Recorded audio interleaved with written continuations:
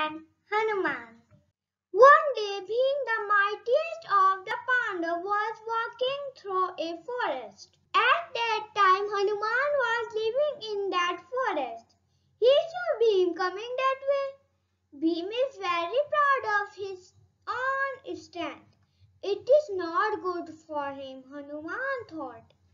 He took the form of an old monkey and lay down blocking the path.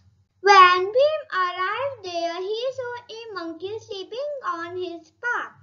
Bhim became angry. Oh, monkey, remove your tail from my path. On seeing Bhim, Hanuman said, I am too weak. I can't move. Please lift my tail and cross the path. Bhim, who was very much proud of his strength, tried to lift the tail, but in vain. He tried again and again and again, but he could not even move the tail a bit. Bhim was very much ashamed. This is not an ordinary monkey, Bhim thought. Oh Lord, please tell me who you are. Bhim asked, accepting defeat.